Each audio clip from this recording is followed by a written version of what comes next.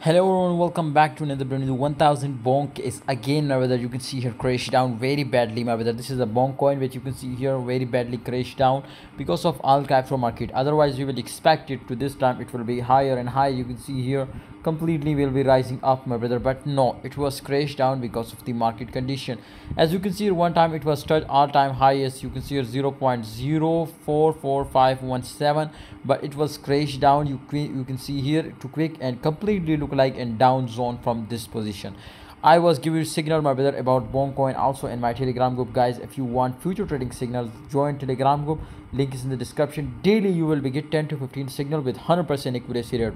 If you lose one cent leave the group and don't follow me okay? Link is in the description. One time must try.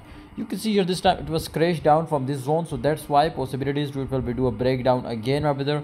And we will be see one crash to my brother. 0.023185 was a target okay? But if it will be returned from here of course this is a zone my brother which you can see here very very strong maybe consolidation we will be see in this zone my brother like last time you could see here but i was expected to crash down in this time. It was retesting and completely crash down possibilities. Okay? See you next time guys. Subscribe our youtube channel